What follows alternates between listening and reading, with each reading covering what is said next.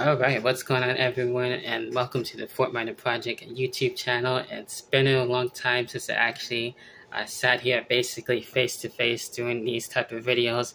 I know the last time that I did something like this uh, was my coming out story and being able to come out as transgender. Uh, so now, uh, as you see by the title, a lot has changed and now being able to start HRT uh, as of this week. Uh, so I'll be able to talk about uh, what's been going on uh, with that for HRT a little later. Uh, you might even notice a new background. And yes, I'm not in North Carolina anymore, and I'm now in Maryland. I've been here uh, since earlier this year and been able to settle in, and has been really cool.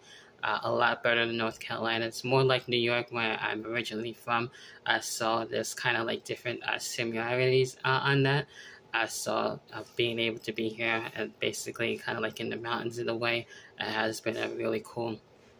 Uh, so I've been uh, enjoying uh, that uh, as of right now. earlier wasn't too fun getting COVID. Unfortunately, that's the only time I've ever gotten COVID early this year while we moved. so I felt like I had that I think about like two weeks. So that was definitely scary. so hopefully that's the only time that I'll have to actually deal with that and it looks like things have been uh, going away slowly but surely, and it's not as serious as it is, but it's still serious.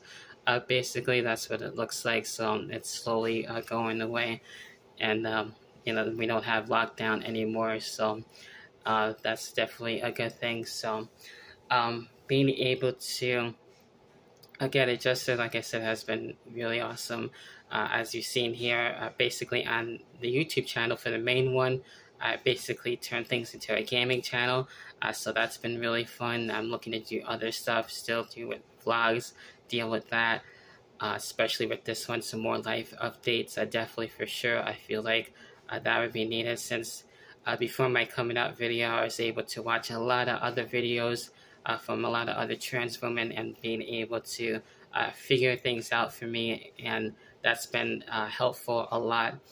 And I started actually doing that again, especially uh, being on HRT, and it's really helpful uh, with the information of being able to hear different stories. So uh, that's been uh, really cool.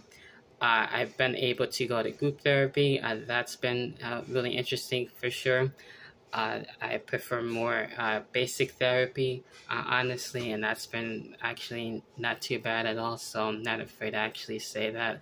Uh, as of right now, I, I never really I had a problem with therapy, so I think that's actually really good, especially for mental health reasons, and definitely helps out a lot. And especially now with being able to deal with that, that I was able to actually uh, help me get to where I am to dealing with HRT. Uh, so uh, in North Carolina, I did have therapists, and then having to change over to a new one uh, has been definitely different. So seeing how different uh, other people are, and everything has been really cool to see that. Uh, but so far, things are really going well with that, and I've been happy. And now uh, being able to start HRT this week, that's been exciting. being able to see what changes are to come they aren't going to happen right away, uh, is what I learned. So within over time, within months, especially within to a year, uh, most likely I'm seeing more changes. But in the beginning, when I first took it, uh, so um, the recording of this video is actually on Friday. Uh, so Wednesday, uh, being able to go to my appointment and being able to uh, check things out, see how things are going to be able to go. And then I got my uh, HRT pills on a Thursday the next day, uh, being able to take them that day. Uh, so uh, basically uh, how things have been. Uh, at first, my body wasn't really too sure how to take it, but then I realized uh, what was happening and realized uh, it was HRT. So it seems like um, my body has been handling things very well as of right now. So um, probably maybe November probably seeing a lot more changes uh, by that time for my next appointment for my checkup to see how things are. Uh, sometimes, um, eventually, I can get a boost upper dose. So right now it's at 100. Uh, so uh, depending how things go, could go uh, upper dose. Uh, but I feel like for me, as of right now, I don't think I would have to go uh, upper dose. So uh, with that, I do feel happier. I do feel more relaxed already uh, as of right now. I know eventually uh, things like with skin and stuff like that, that would be, I feel more softer and everything.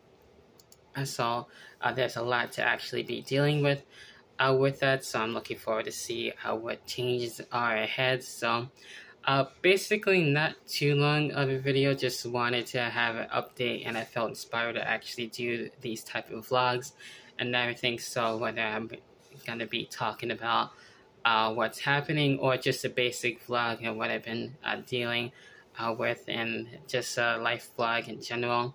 Uh, last year I was able to go to my first Pride, so I'll be going this year, uh, this month as of uh, yet. so that's going to be really fun for Pride Month. So I enjoyed that last year. I got a couple of stuff, got a couple of books as well. I've been actually into reading and everything, so that's been fun again, especially I'm breaking out into other uh, reading genres. So I've been uh, liking that a lot. Uh, so uh, also, I realized too uh, over time, I didn't get to mention this last time, but being polyamorous, uh, that's something I felt like who I was for a long time, and being able to have multiple partners. I'll be fine with just one if that does happen, but if I have other multiple partners, that'd be really cool, and I'll be happy with that. I saw that's something I feel like I always been for a long time, especially being uh, queer, uh, kind of more on the lesbian side uh, as well.